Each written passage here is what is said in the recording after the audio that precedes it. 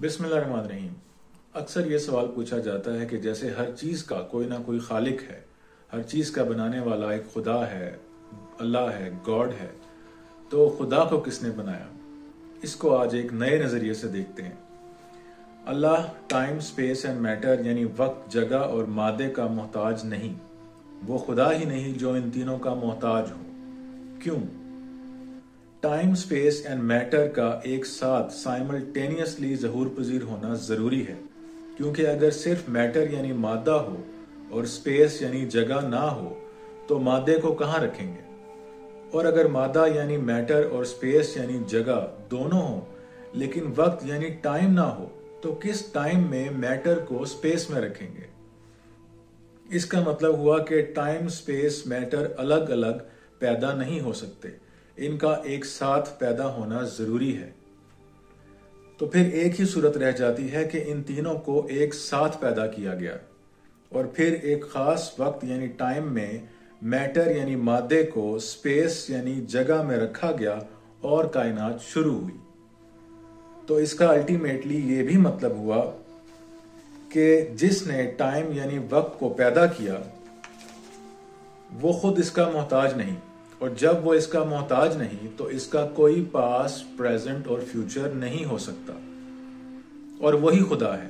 اس لیے یہ سوال کرنا کہ خدا کو کس نے پیدا کیا، یہ سوال سائنٹیفکلی ہی غلط ہے۔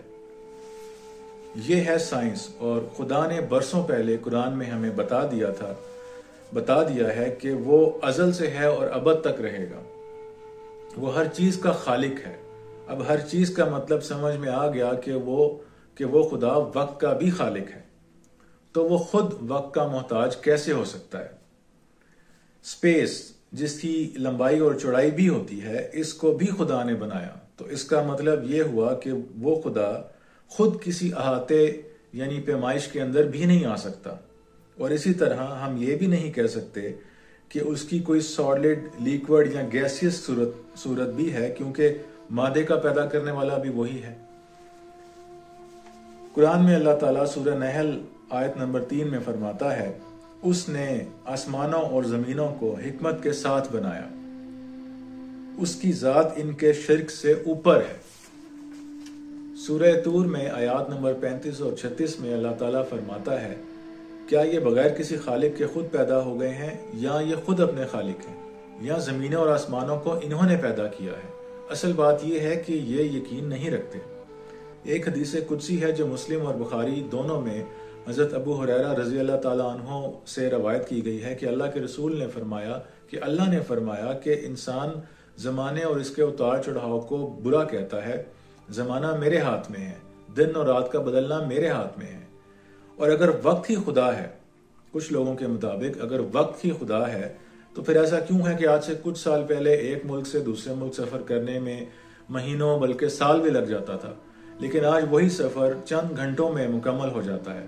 اس کا مطلب یہ ہوا کہ انسان نے اپنی ایجادات کے ذریعے، اللہ ہی کے دیے ہوئے علم کے ذریعے وقت کو، زمانے کو تسخیر کر لیا، اپنی مٹھی میں کر لیا۔ تو یہ کیسا خدا ہے جو اپنی ہی مخلوق کے ہاتھوں تسخیر ہو جائے؟ تھیوری آف ریلیٹیوٹی ہمیں بتاتی ہے کہ جہاں گریویٹیشن زیادہ ہوتی ہے، وہاں ٹائم سلو ہو جاتا ہے۔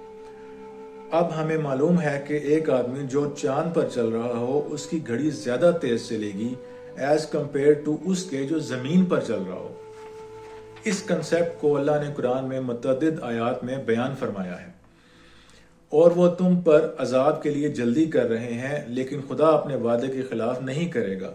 یقیناً تمہارے رب کے نزدیک ایک دن تمہارے شمار کے ہزار سال کے برابر ہے۔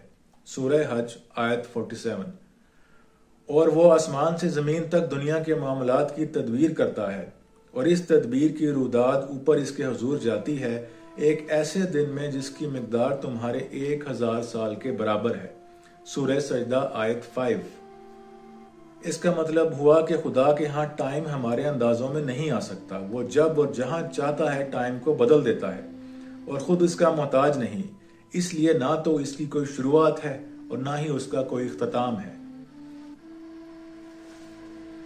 اگر آپ مادے کو لے کر اس کو مائکروسکوپ کے نیچے رکھ کے لیزر سے بھی کاٹتے جائیں، تو ایک وقت ایسا آئے گا کہ آپ کو ایک نقطہ ملے گا جس کو آپ مزید نہیں کاٹ سکیں گے۔ یعنی وہ ایک نقطہ بھی آپ کو بے بس کر دے گا۔ اور اگر آپ اسے اڑانا چاہیں تو وہ توانائی میں تبدیل ہو جائے گا، لیکن آپ اسے کنٹرول نہیں کر پائیں گے۔ اس لیے شاید بلے شاہ نے کہا تھا ਫੜ ਨੁਕਤਾ ਛੋੜ ਹਿਸਾਬਾਂ ਨੂੰ ਛੜ ਦੋਜ਼ਖ ਗੋਰ ਅਜ਼ਾਬਾਂ ਨੂੰ। ਬੁੱਲਾ ਬਾਤ ਸੱਚੀ ਕਦੋਂ ਰੁਕਦੀ ਏ? ਇੱਕ ਨੁਕਤੇ ਵਿੱਚ ਗੱਲ ਮੁੱਕਦੀ ਏ। ਸ਼ੁਕਰੀਆ।